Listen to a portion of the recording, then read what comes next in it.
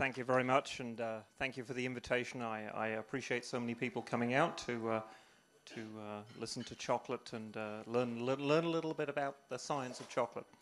So um, I thought we'd start off and uh, start off with two very simple concepts. Uh, chocolate and cocoa comes from a tree, and when you're consuming a chocolate bar, what you should be eating are the fermented, roasted, and ground seeds of Theobroma cacao, the cocoa tree.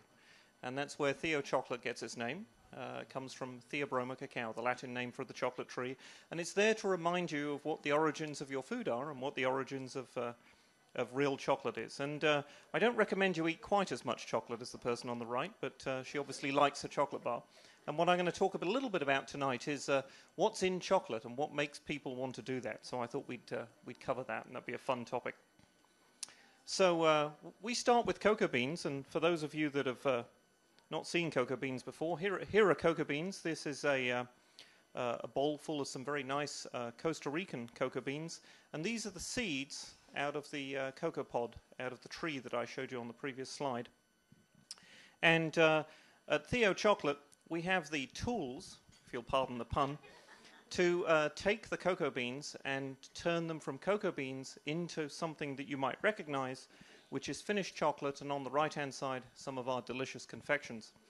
And for those of you that are actually in the audience tonight, and uh, you may be tasting some of these as they're passed around. I hope there's enough for everyone to go around. And for those of you that are on the web, I apologize. We are working on TheoVision and trying to make a way to share the chocolate, but it will take us a little bit longer. So uh, if, you, if you haven't had a chance to uh, come and see Theo Chocolate, uh, we're located in Seattle's Fremont neighborhood in an old trolley barn, and we're what's called a bean to bar chocolate maker. That means we take cocoa beans and we go all the way through to the finished chocolate bar, and that's not a very common thing to do. There are about maybe 12 to 14 companies in the whole of the US that actually do this, and most of those companies are fairly large. There's only a small handful of artisan chocolate makers that go through the whole process, starting with cocoa beans.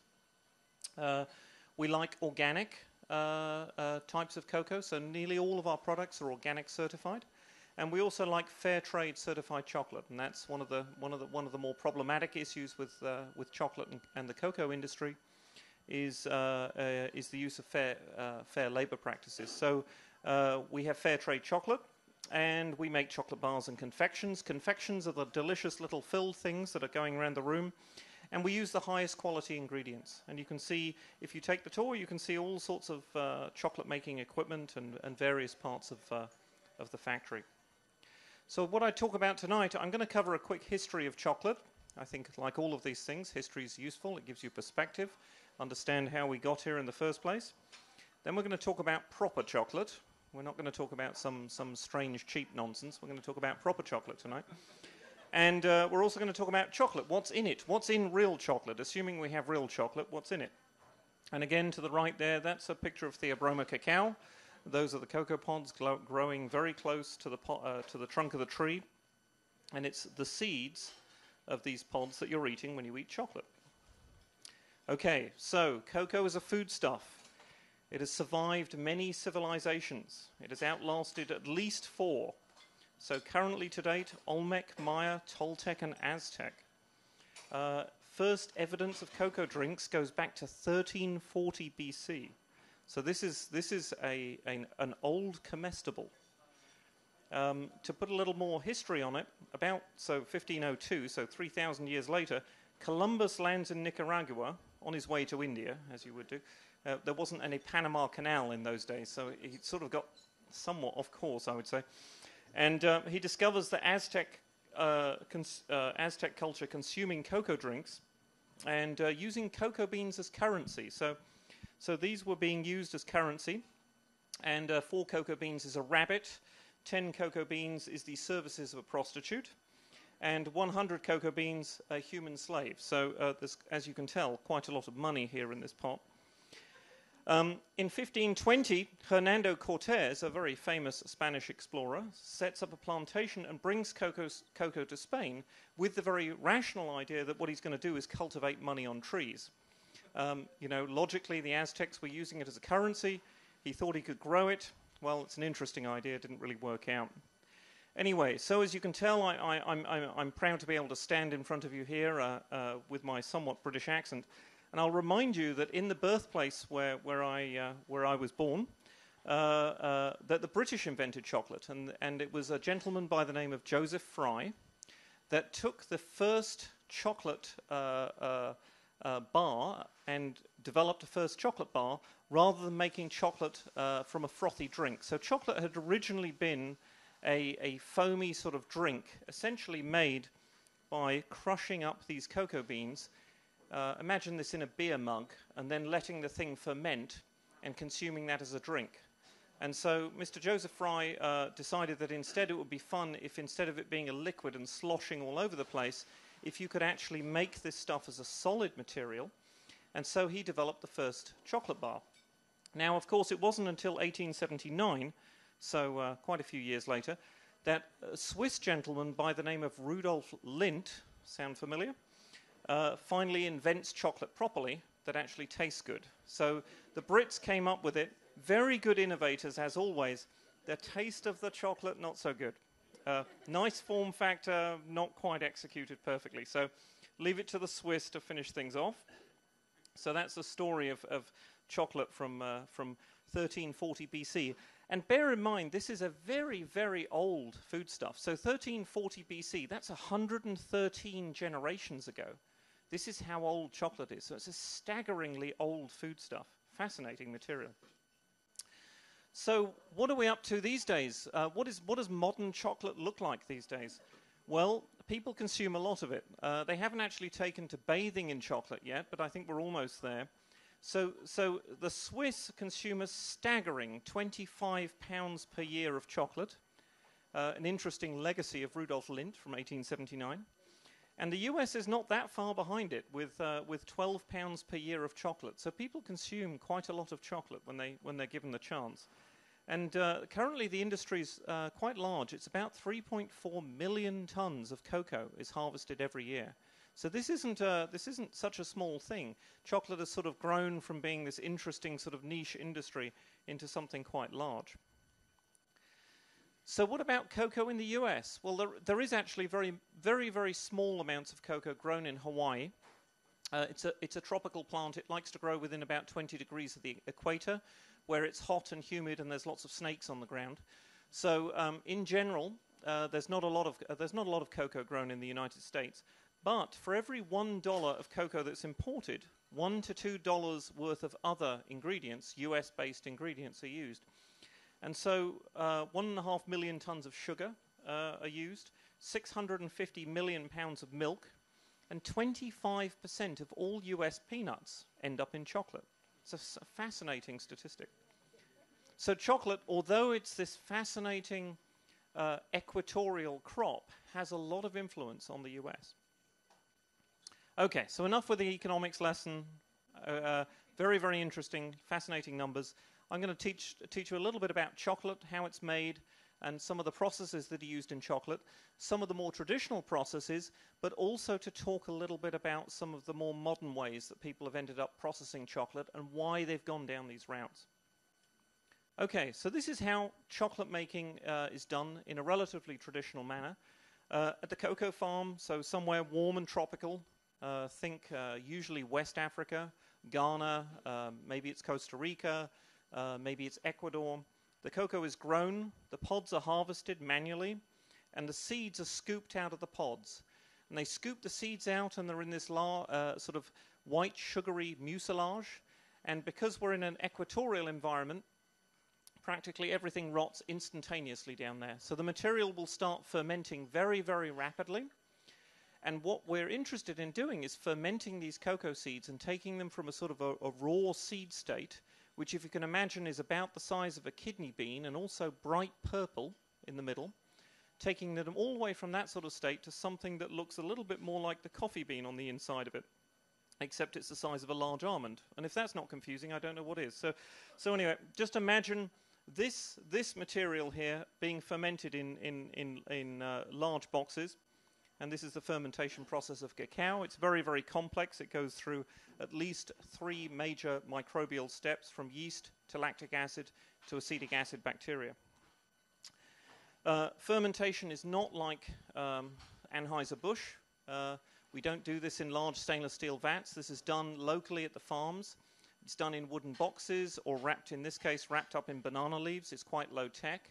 And it's quite an interesting sort of uh, uh, specialized knowledge to know how to ferment cocoa, uh, cocoa beans. So it's much less in industrialized. And that's interesting because a lot of the fermentation, a lot of the handling of cocoa is done uh, on smallholder farms or in small co ops.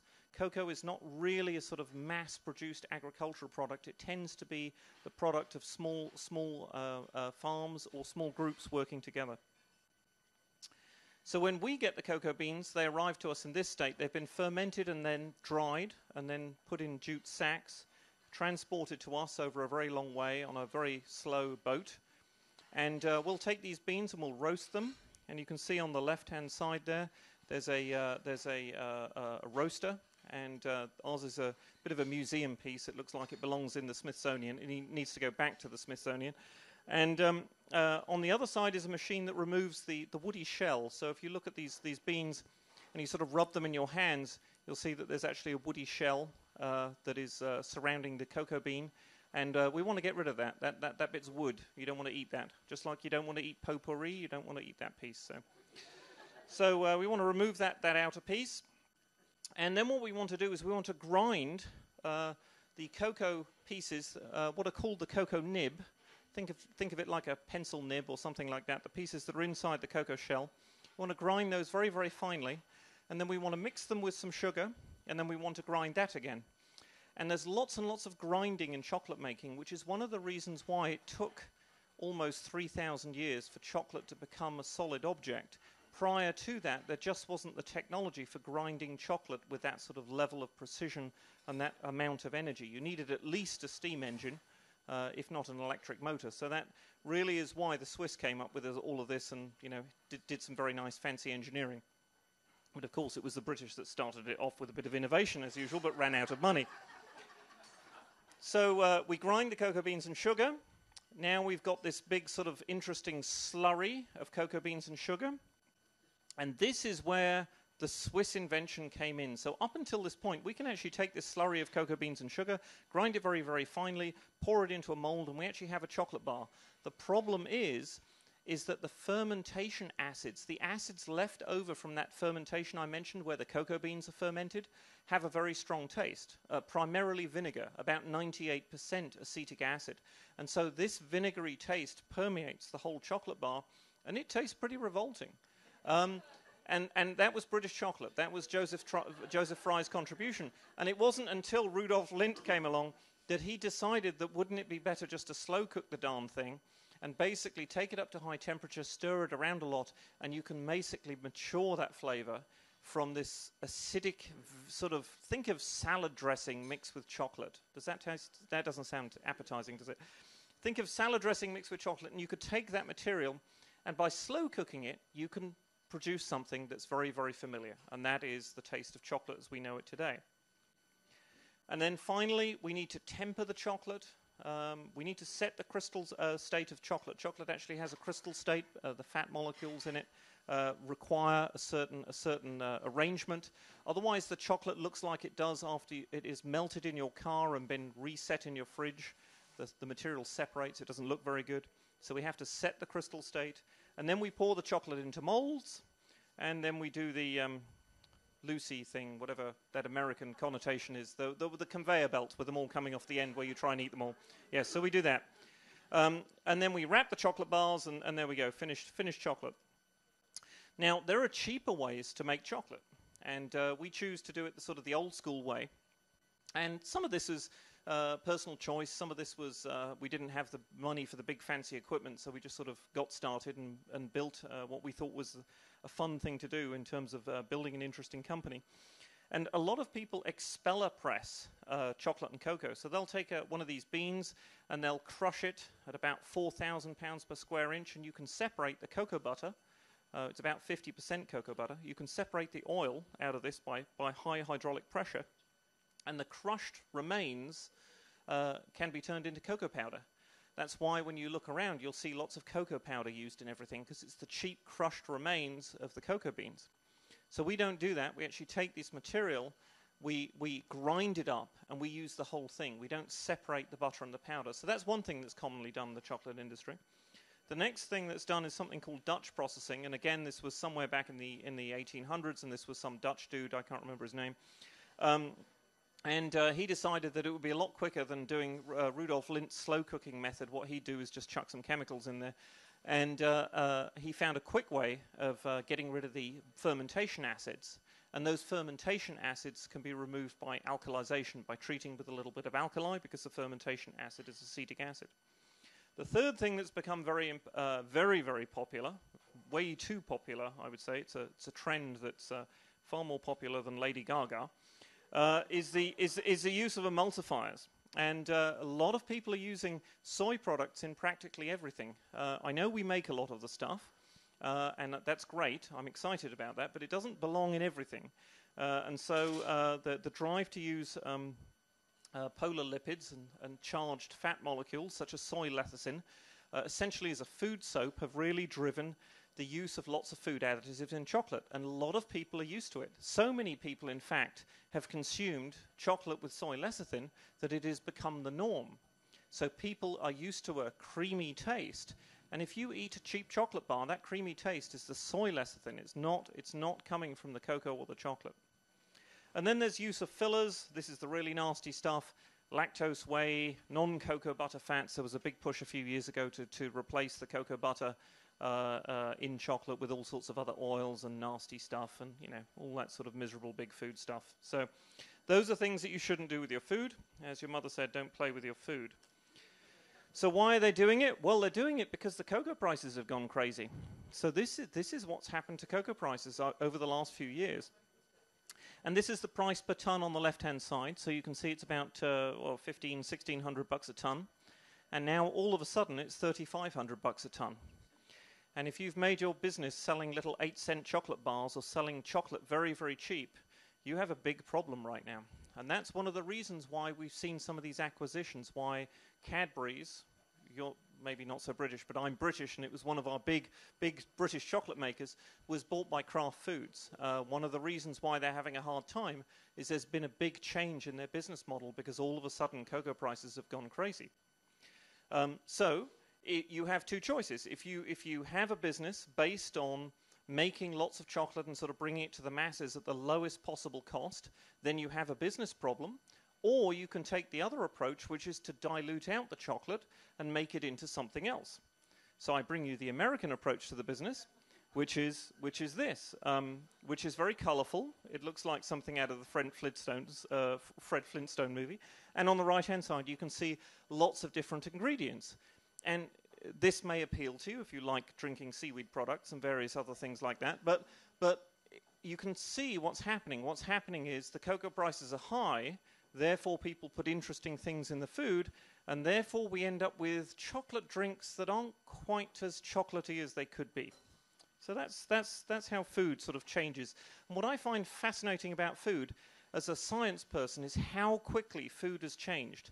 In the last 30 years, we've seen tremendous changes in food. So in the US, we've seen what I would sort of regard as this interesting sort of devolution in foodstuffs. And it's now that we're just starting to see a resurgence of organic food.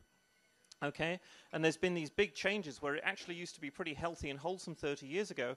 Everything became very, very processed and very scary, and now there's a sort of little resurgence of organic food. And in the UK, the good news is the food got better, thankfully. I mean, it was pretty awful 30 years ago, and now the food's marginally better. So, I mean, there is, you know, there's a, there's a, there's a, there's a, there's a silver lining in that cloud. Okay, so real chocolate, just to get on my uh, high horse here. So, real chocolate should consist of dark chocolate, ground fermented roasted cocoa beans, sugar, a touch of cocoa butter, maybe.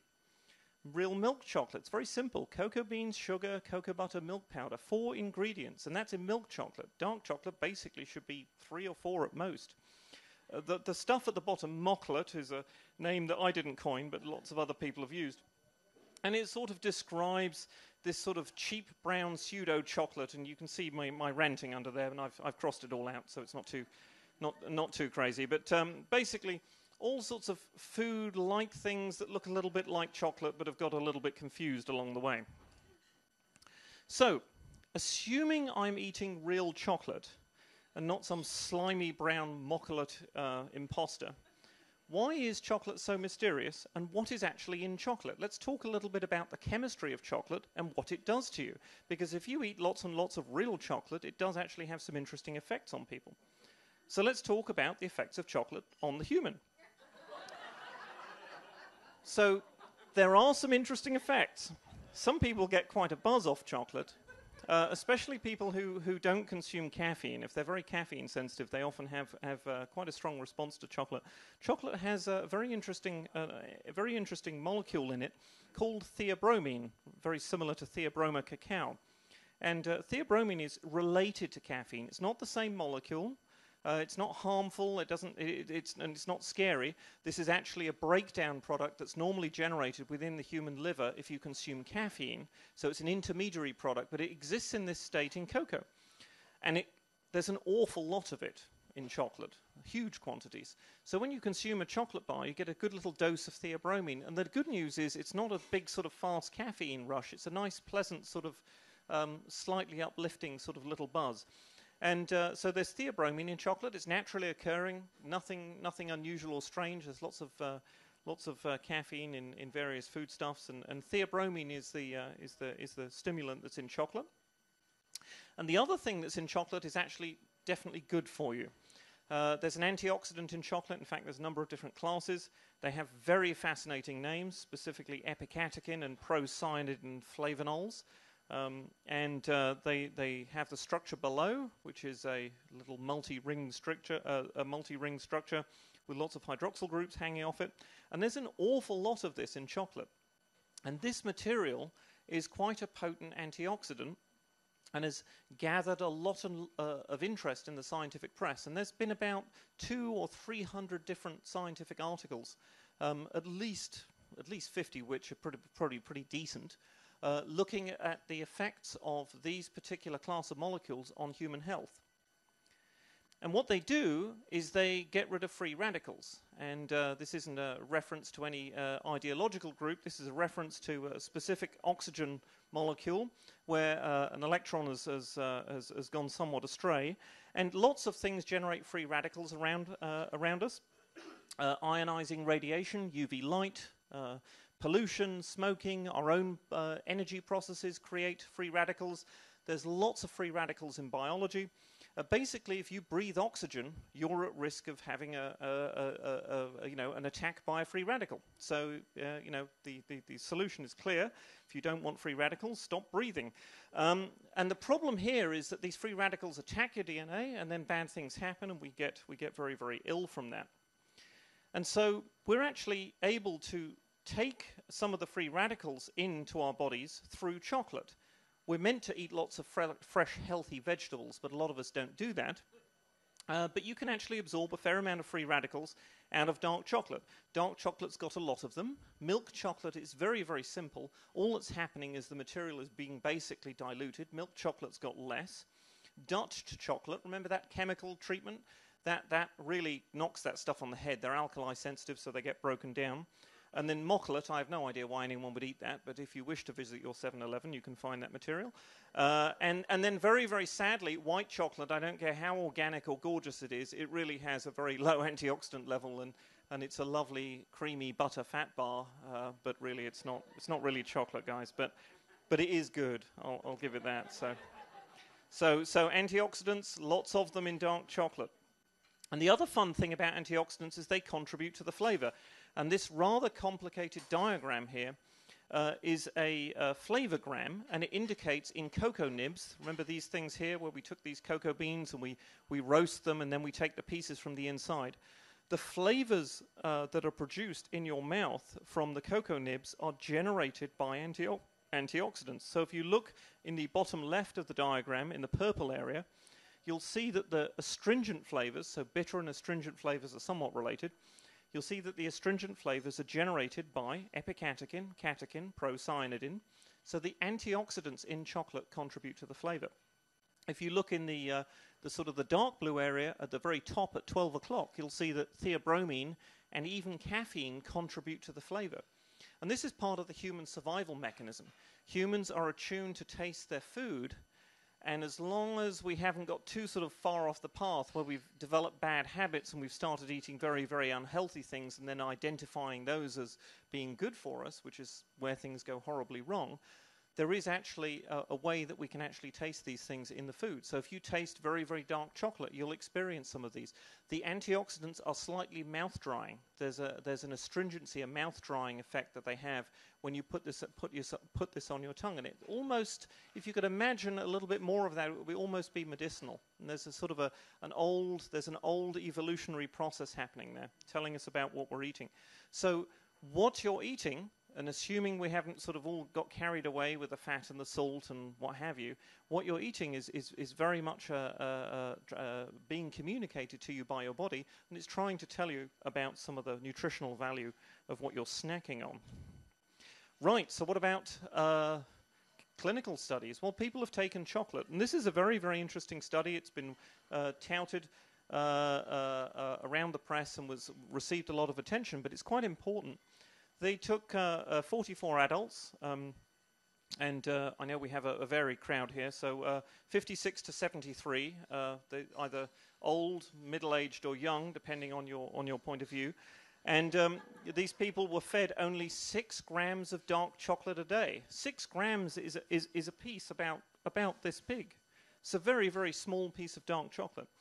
And uh, they were fed either six grams of dark chocolate, or six grams of white chocolate. That's 30 kilocalories. That's nothing. That's, that's, that's a minimal calorific intake. They were, they were force fed chocolate for 18 weeks. I can imagine this, was, this is a very difficult study. And, uh, and uh, what they actually noticed is that there was a measurable uh, drop in blood pressure in the group that consumed the dark chocolate of around two to three millimeters of mercury, which is, which is in terms of blood pressure measurement, that's a, a meaningful drop. That's something that you might get if you were taking a, some sort of heavyweight pharmaceutical. And in the group that snacked on the white chocolate, they, they had no effect at all. So there was an interesting uh, drop in blood pressure associated with very, very small quantities of dark chocolate. So you don't actually have to eat a lot of this stuff to get a clinical effect. And chocolate has lots of interesting effects. That's not the only one. It's also an anti inflammatory, it's quite a potent anti inflammatory. It has aspirin like properties. Um, and very, very perversely, something you might not expect is that chocolate also uh, is quite an uh, uh, effective inhibitor of tooth decay. The sugar in chocolate isn't. Yeah, that's the other way around. But the chocolate is an inhibitor of tooth decay.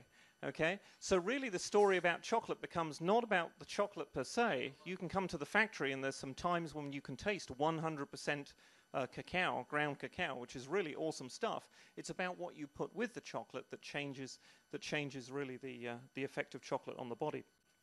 Okay, so I hope I've given you a little bit of a taste of chocolate. I was asked to keep this short, so I'll keep this very, very brief.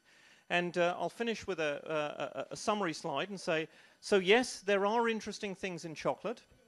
Chocolate does contain bioactive compounds, and there are more to discover. We believe that there's lots more secrets left in chocolate, despite the fact that we've been working on it with very modern analysis tools for over 20 or 30 years. Antioxidants are part of the flavor of chocolate, so you can taste what you eat and you can tell if it's good or not. The effects of physiology are good for you and they're tangible. Uh, come by the factory and we'll show you all sorts of interesting things where you can actually uh, feel the effects of chocolate. And eating loads of unhealthy rubbish with mystery ingredients and having no idea of where your food comes from is silly. and I'll finish on that note and thank you very much. That the chemical reaction in your brain that you get from eating chocolate is the same as when you fall in love? And how does that work?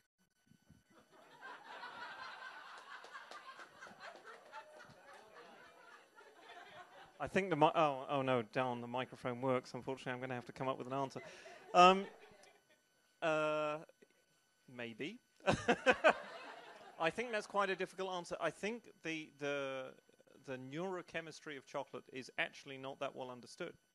So uh, there are some very interesting uh, there are some very interesting studies on chocolate, and there is a lot of work that is remaining to be done uh, you have to think about the history of chocolate, and maybe that can help illuminate the answer.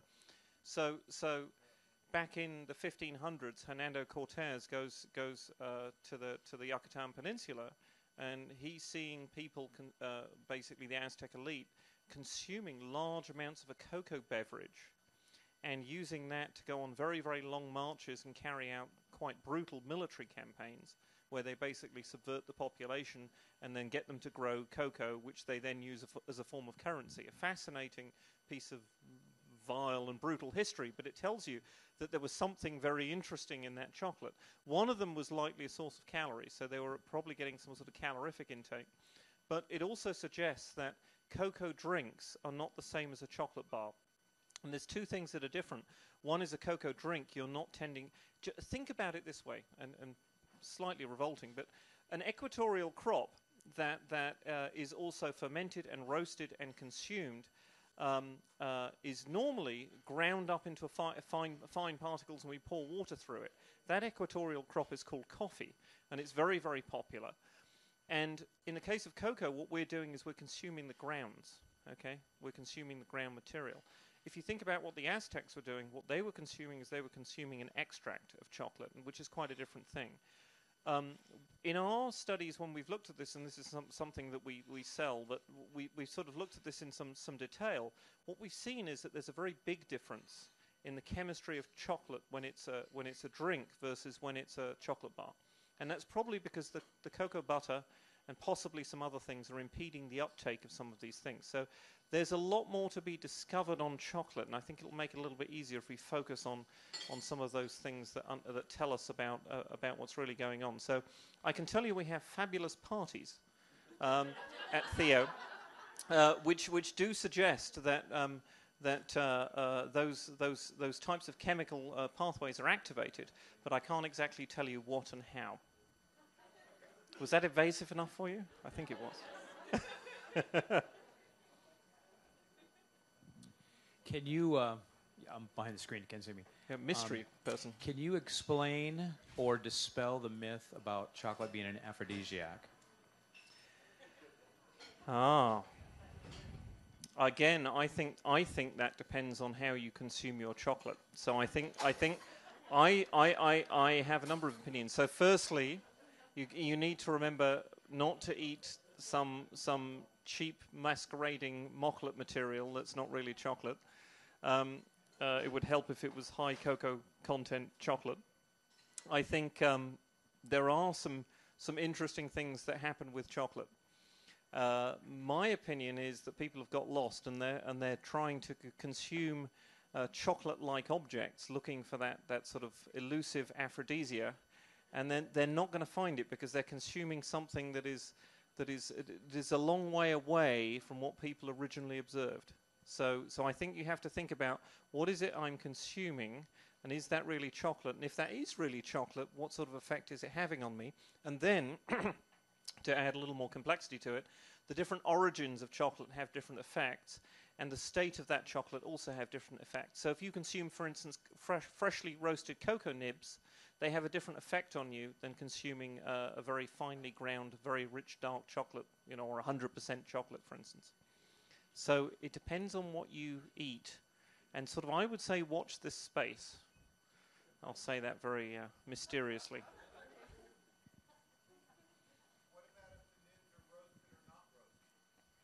Um, yeah, uh, yeah. I'll just answer that one. Uh, somebody just over here just asked, "What if the nibs are roasted or not roasted?"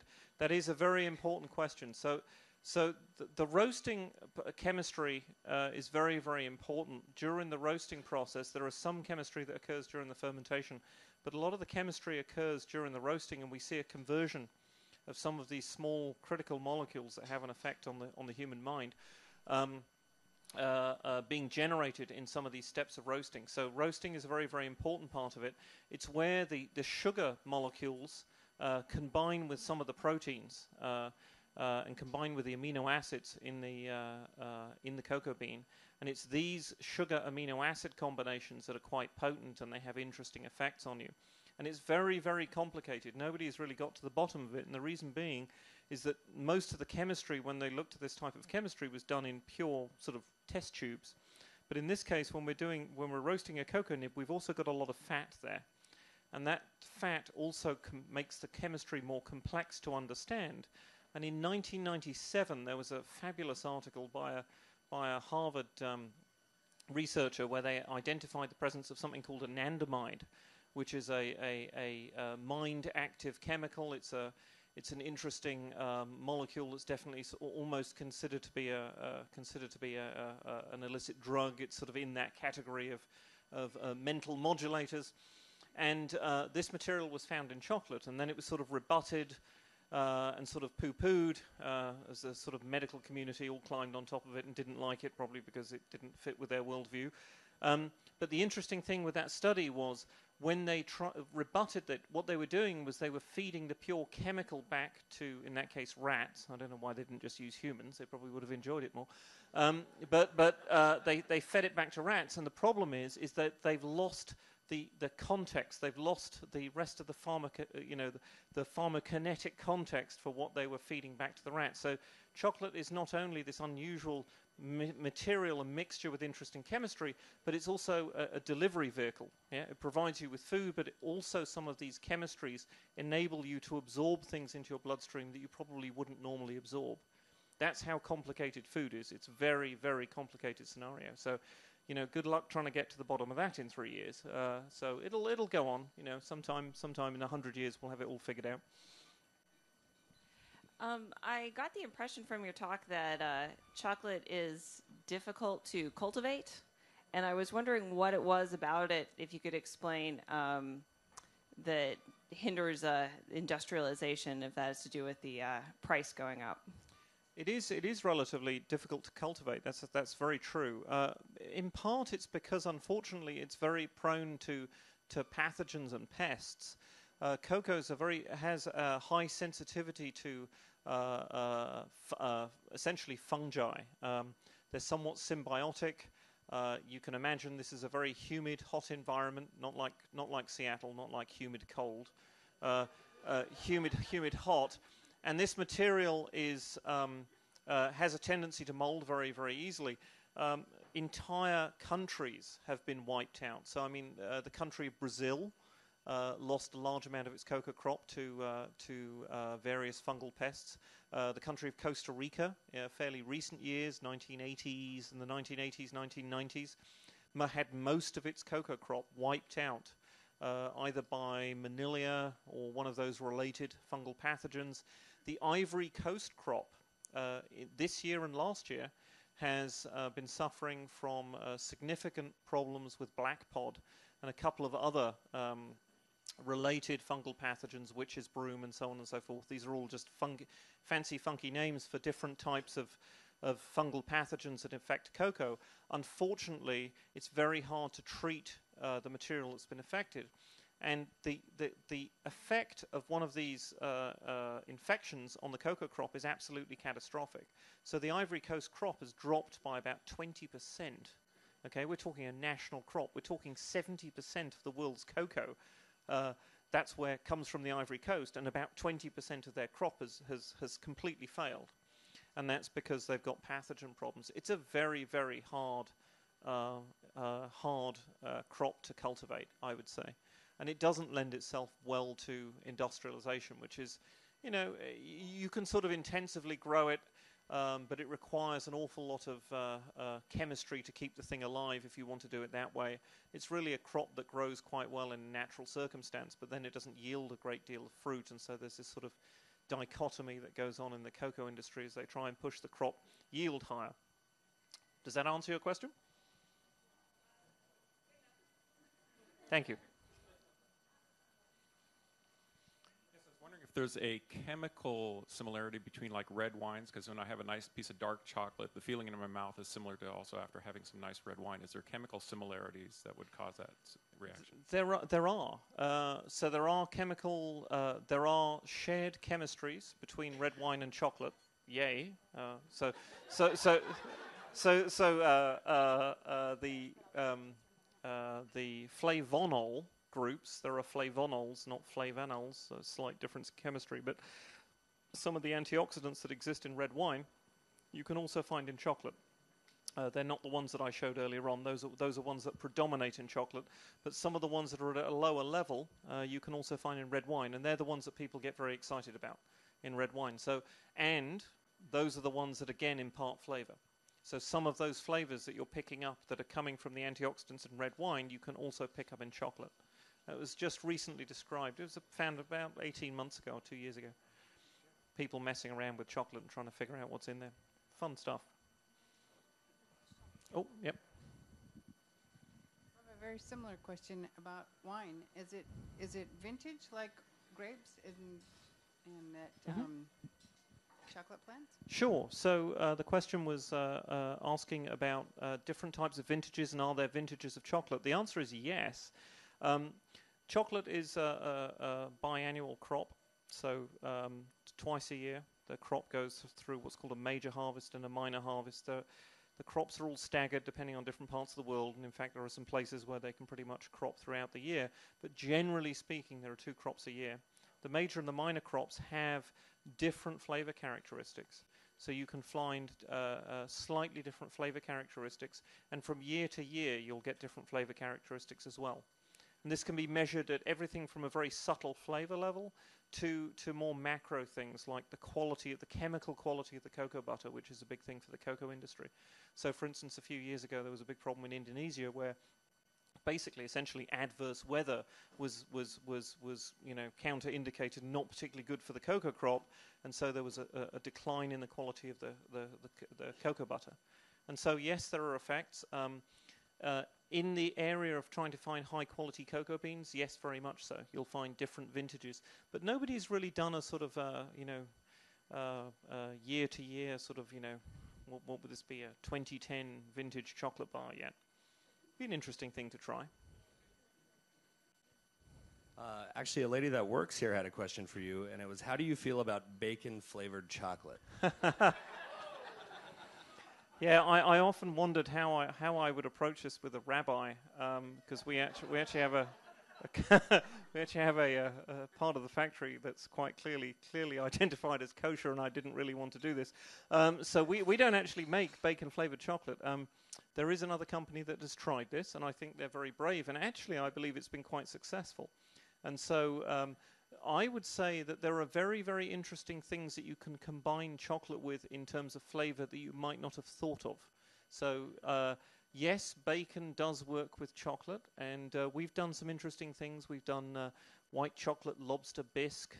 Uh, all sorts of interesting savory pairings. So I encourage you to explore that. There's lots of interesting ways that chocolate flavors uh, work in, in, in more savory types of uh, non dessert types of food.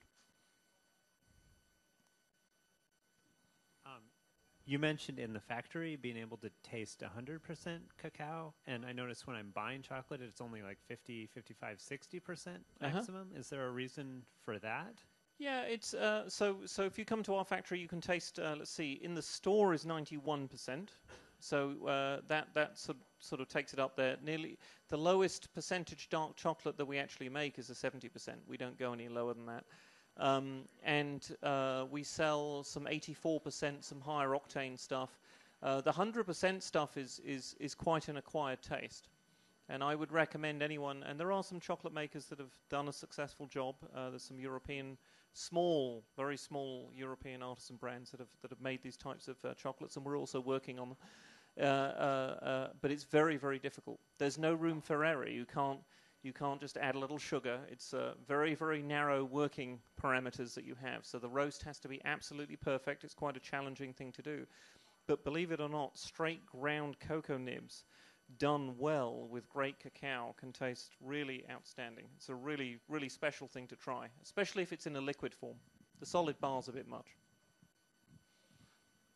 Is the uh, cocoa butter still removed and sold for other purposes because of its higher value in other industries, and therefore replaced with um, other fats? Yeah, it is. Uh, so cocoa butter is about uh, some just just to use some very ballparky numbers, somewhere around three fifty to five dollars a pound, and uh, other fats, you know, fifty cents a pound. So it's very very tempting if you're trying to make a cheap chocolate bar to remove some of that cocoa butter and either replace it with a lot of lecithin, in other words, a bit of a bit of uh, food lube, uh, or um, uh, doesn't doesn't that makes you want to eat the stuff, doesn't it?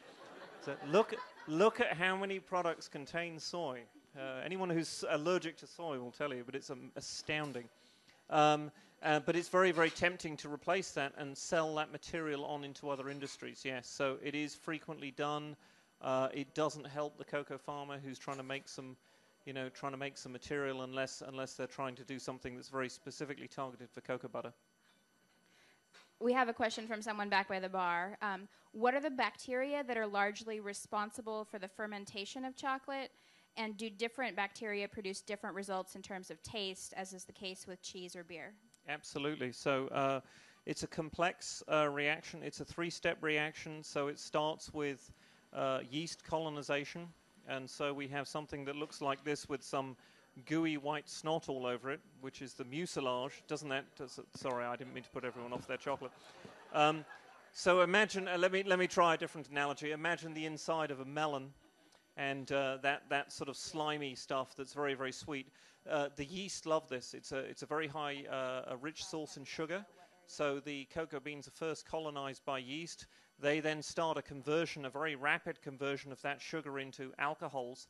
Those, those alcohols are then converted into lactic acid by lactobacilli. So the same type of uh, bugs that you might find in a cheese fermentation.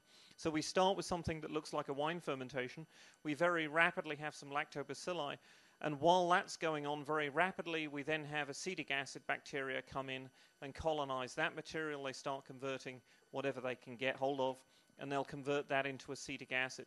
And so there's a very, very complete fermentation cycle that takes place here. Maybe if it's helpful, if you think of something like kimchi or something like this, something that's gone through a very, very extensive fermentation. The other thing that's kind of cool is the fermentation of the cocoa gets really, really hot. So this is a biological fermentation reaction. Those cocoa um, uh, piles will actually hit about 46 degrees Celsius, which in a biological reaction is phenomenally hot. So we, we have a process that's a little bit like silage or something like that. It's an extremely intense process to take those cocoa seeds and transform them from some vile tasting purple seed, which they really do. If you ever tried one, they, they don't taste that great. Uh, all the way through to a finished uh, to a finished cocoa bean, and it's one of it's quite illuminating to look at this and think. No wonder it took so bloody long to go from cocoa beans as a crop all the way through to finished chocolate bars. No wonder it took 3,000 years. Because uh, if you look at the starting material, it's an awfully long way from the finished product.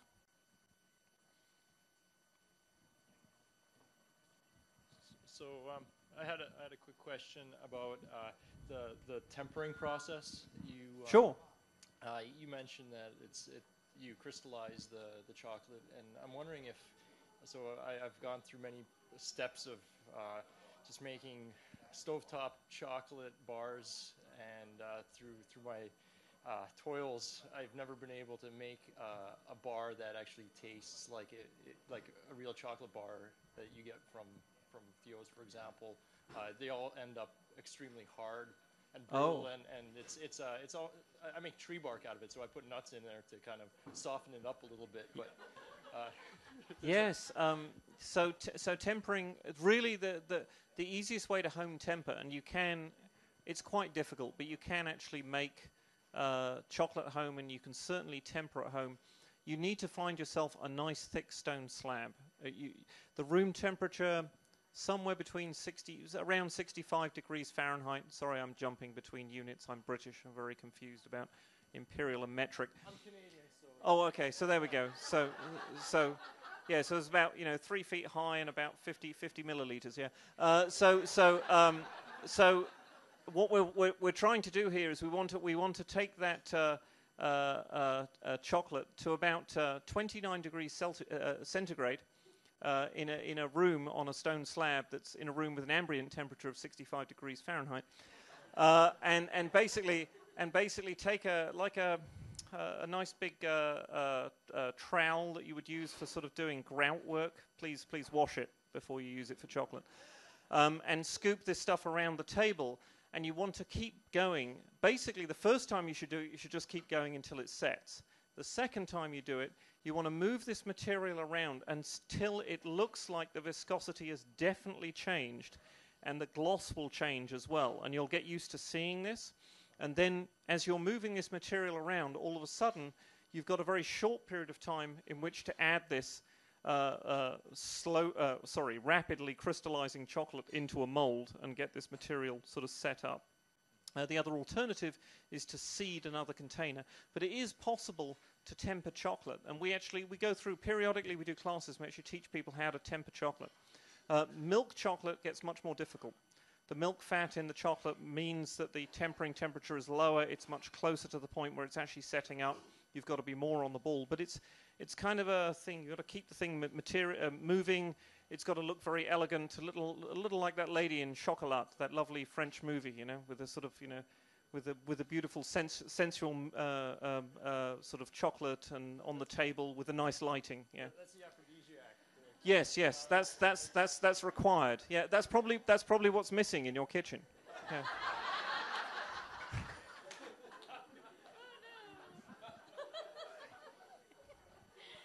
So you talk about organic and fair trade. How do you oversee knowing that the main ingredient, the cocoa beans, come from foreign countries? How do you make sure that everything is truly organic?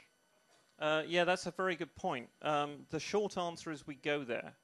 So, so th- this is a, a, a, multi-step process. It's audited. Uh, we keep an eye on things. We also test the material. But bottom line, really, the very simple, the simple process is to start the process by actually going to the farm, meeting these guys, spending some time with them, uh, frankly, keeping your eyes peeled and making sure that there's nothing that's unusual or untoward.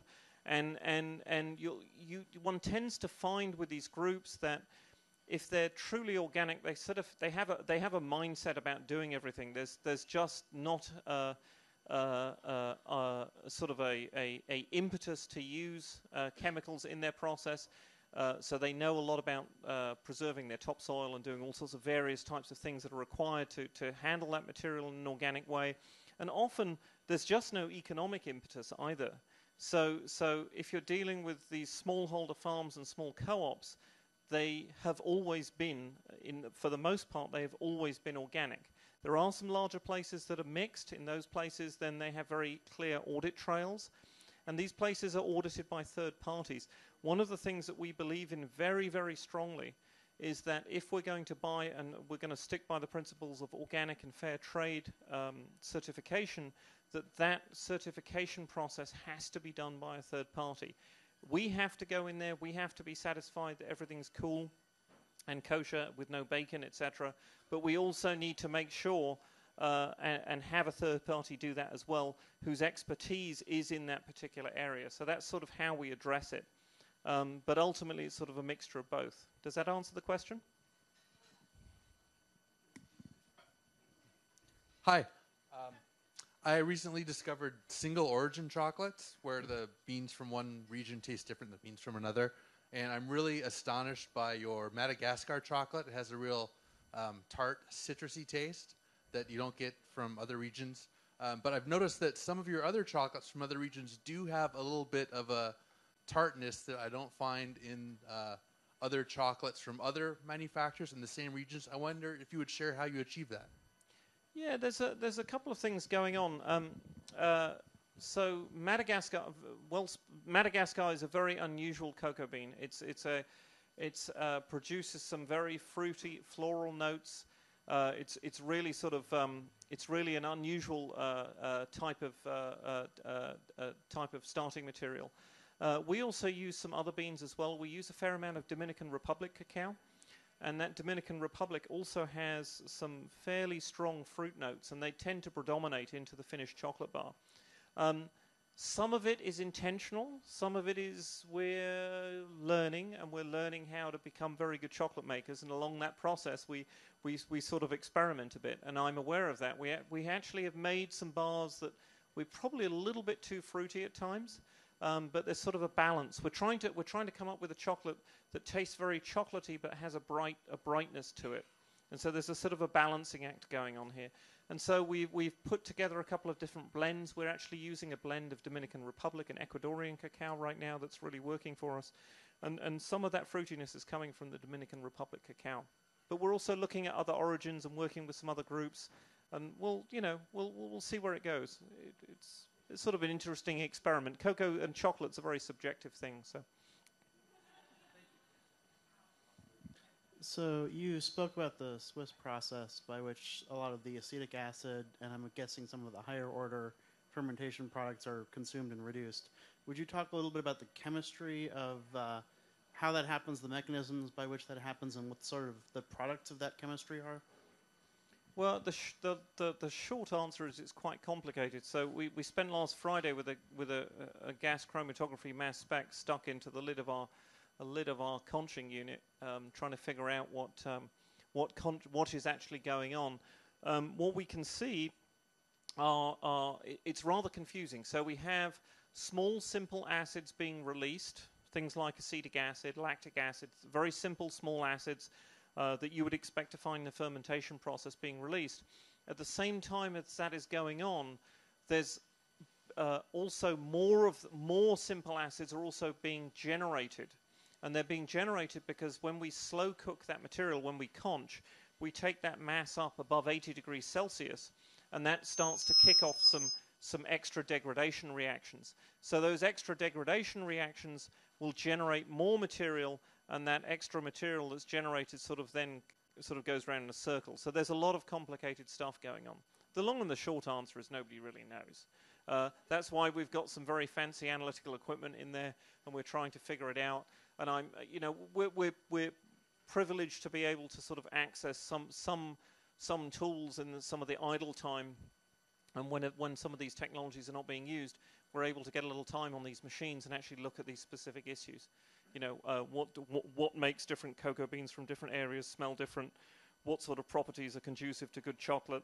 And also what goes on during the processing. And that's something that we're actively engaged in at Theo and having quite a lot of fun with, actually. We have another question from back by the bar. Um, how are the antioxidants in chocolate uh, similar to certain vitamins like vitamin C or vitamin E or selenium? Yeah, it's an interesting question. Um, I, I, you know, it's it's it's some, there was a suggestion about two years ago to call the antioxidants in chocolate another vitamin. What are we? Vitamin K, L, whatever. I don't know. Um, I couldn't decide how much of that was branding and how much was the was was the word vitamin. Vitamin implies that it's nes- necessary for life. And yes, antioxidants are necessary for life, but there's lots of different types of them. So, which type do you need to survive? That's not clear. Do these antioxidants in chocolate have a beneficial effect? Yes. Do you need? Will you die without them? Probably not. Um, you know, you know, there's a there's there's there's I think I think I calculated that that it takes something like 30 tons a second or something to feed the world's population on chocolate, and that far exceeds the entire annual crop cocoa crop by about 250,000 times. So there's lots of people that don't consume any sorts of chocolate in their life, and they're fine. So I think that's a bit of a contrived contrived issue with trying to use the word vitamin. However, having said that, there is definitely something that's in chocolate that's good for you and valid that has an effect, but whether one would call that a vitamin or not, ah, I don't know. That's really just how you label things.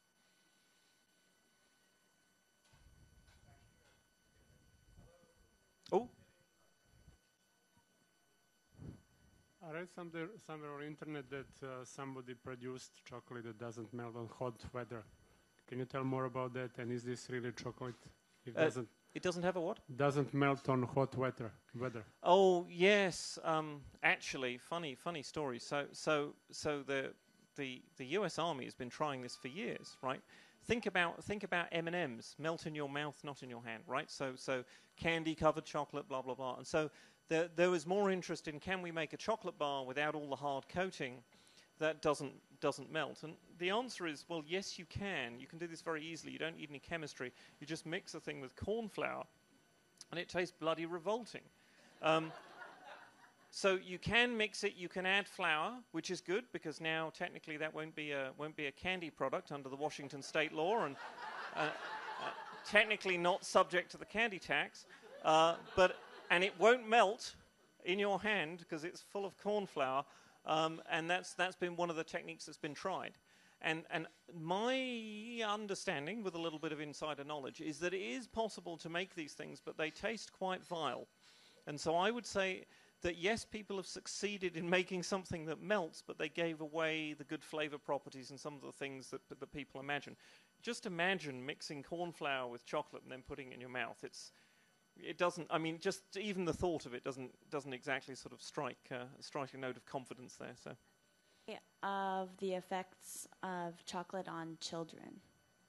Well, I think I think uh, it depends a little bit on uh, what their diet is and what they're used to. So, I mean, with that caveat, okay, there's a couple of things to remember. Um, again, depending on the type of chocolate that you're feeding the kids, what what what is in that? I mean, what is the percentage of cocoa in there? What other stuff is in there? Are you feeding them essentially a recycled soy product? What are you actually feeding them? With all of those caveats removed, and let's say you feed them good chocolate, the only concern really is that there is a fair amount of sugar in there, and there's also theobromine, a stimulant. Okay, so it's a bit like giving them a, a, a little bit something like sweet coffee. So they're going to get quite wound up. They, they, they like it. So we have tours of kids that come through the factory, and, and um, maybe they've seen Charlie in the Chocolate Factory, and, and, and it gets awfully loud. Uh, uh, towards the end of the tours, uh, they get very excitable, and there's lots of noise and screaming, and you know. And I, I came past a school group today, and there was hundred kids pouring out of the chocolate factory, and they were they were really bouncy. So. Um, you know, it's it's it's an active food stuff like many other things. Uh, if you were to feed them lots of uh, pudding or dessert, they'll do similar sorts of things. I think my only opinion is, and and perhaps uh, to look at it from a parent's point of view, is to feed uh, to to know what you're giving your kids and just to understand that it is a mild stimulant. Yes, uh, is it a super strong stimulant? No, it's not. It's not like giving them, you know, it's not like giving them ten cups of espresso, but it is a mild stimulant. It does have an effect. You mentioned uh, vintages and auditing. How do you ensure quality, and how do you ensure consistency for your production line? Yeah, so uh, quality is quite an interesting thing. We're actually working very actively on that with the University of Washington. So, trying to use some modern technologies to measure the quality of cocoa beans. One of the challenges uh, in any sort of artisan food space is how do you capture the essence of good taste and describe that to a third party.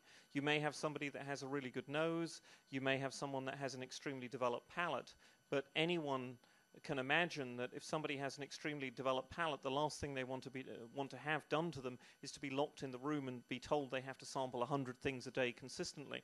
It's sort of their worst nightmare come true. So one of the things that we're interested in doing is trying to develop technologies to assist with that process. That's not to say replace. I don't think you can replace humans because I think there are so many aspects to food that technology, as it currently stands in 2010, can't replace. But there are things that some of these novel technologies can help us with in, in, in sort of trying to, to measure uh, some of the broader measurements of good and bad. So uh, the current techniques, essentially, for assessing cocoa quality are to cut the beans in half, to look at the color and the consistency of the of the cut fragments of the cocoa beans. Basically, we cut them right down the middle along the long axis here, and we're going to look at the color of that and the and the and, the, and essentially the shape and make some conclusions about that. And then the rest of it is very, as they say, organoleptic. In other words, you sniff it and you taste it, and then you try, often in vain, to describe this flavor to someone else using some standardized criteria. And this works relatively well as long as you have a small set of samples. If you have you know, a metric ton of chocolate, it's quite difficult to go through a metric ton and then try and describe that in some meaningful manner. So there's a sort of a, a, a balancing act between trying to do something in an artisan manner and trying to sort of quantitate it with technology. But I think first and foremost, we need to understand that humans are much more sophisticated than machines certainly can ever be right now, certainly right, right at this particular time, and that we need to do a lot more uh, sort of development work around how one smells and tastes things and how one correlates that to what a what a machine tells us. So we're just trying that right now. We just we spent actually that was last Friday, and tomorrow we'll be doing some more of this type of work and it's very, very illuminating. So, certain types of equipment have very, very specific skills. They can tell us about the flavor and the potential qualities of the chocolate, but they can't tell us everything we need to know. You can't replace humans yet, thank God.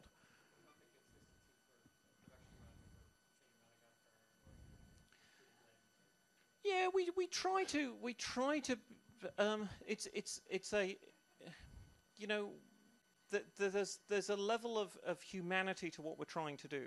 So we're, we're we're sort of torn between we're trying to be somewhat consistent. So within one batch, it's quite consistent. But there's a there's sort of two things tearing at us. One is we're trying to sort of push the frontier and really make very very extraordinary chocolate, and that means that some batches turn out really well and some of them they're not as good. Um, so we, we try and sort of cut the, sort of work out how to navigate through this, this, this complex space. And we've got better at it, certainly. And so we're, we're spending a lot of energy trying to figure out how to sort of develop our chocolate making process. And the result of that is that it tastes slightly different. So I would say, with, as with any artisan manufacturer, you're going to see differences, and I, to some extent, would welcome those because even if we had a highly consistent process, the starting material should vary. So if it's a major crop or a minor crop, or year to year, the weather's different, we're going to see different types of cocoa developing, we're going to see different flavors.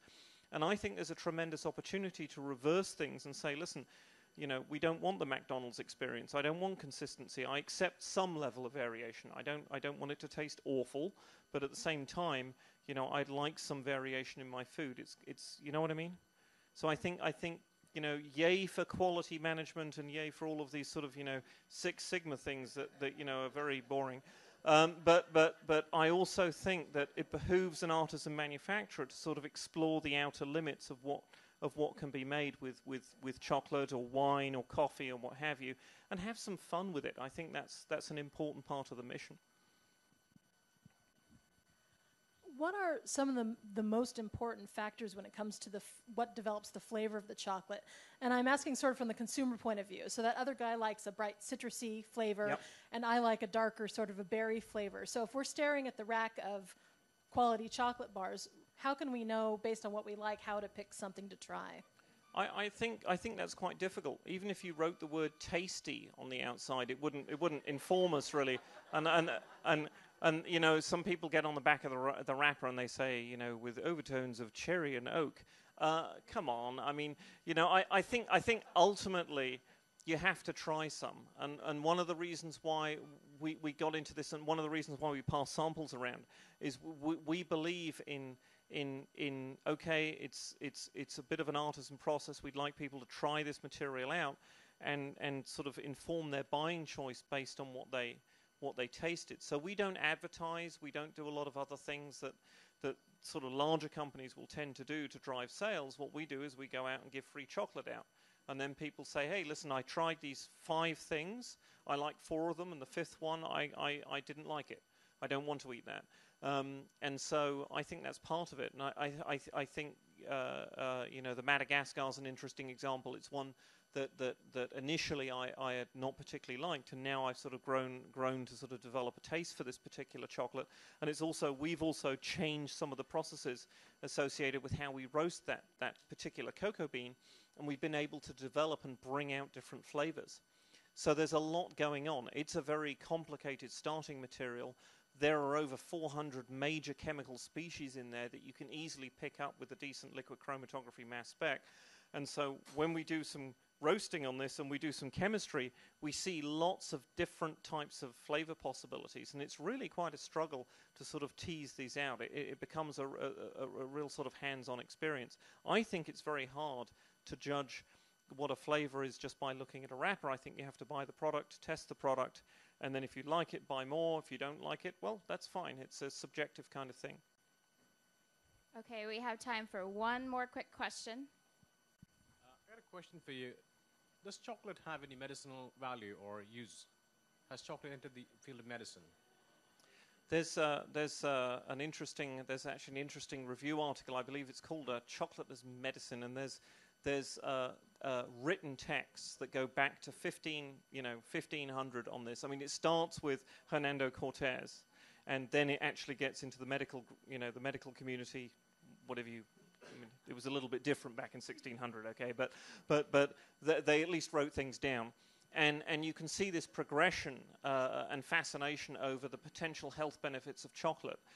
I think the challenge um, the challenge is is uh, with chocolate is yes, it does have some interesting properties, but in what context is it being consumed, and with what else, and what is it being diluted with, and what is the particular what are the particular properties of uh, one chocolate from one manufacturer versus one from another.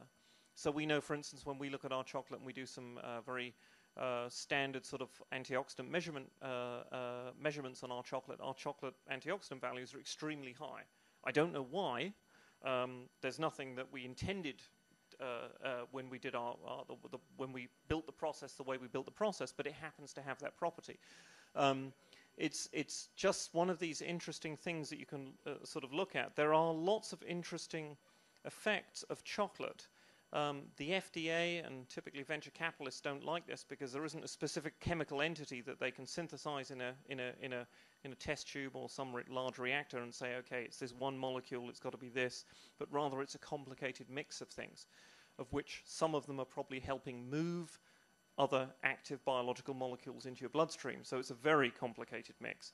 So it's quite hard to sort of um, uh, think of it in a sort of classic medicinal, Western medicinal sense. It sort of has this sort of older, you know, more sort of ethereal property to it. Um, and there's lots of people trying think, to, to push it from a, you know, everything from a sort of hardcore health push to listen, this is just an interesting foodstuff with an interesting property. And we're sort of somewhere in the in the sort of middle, surveying the space, figuring out.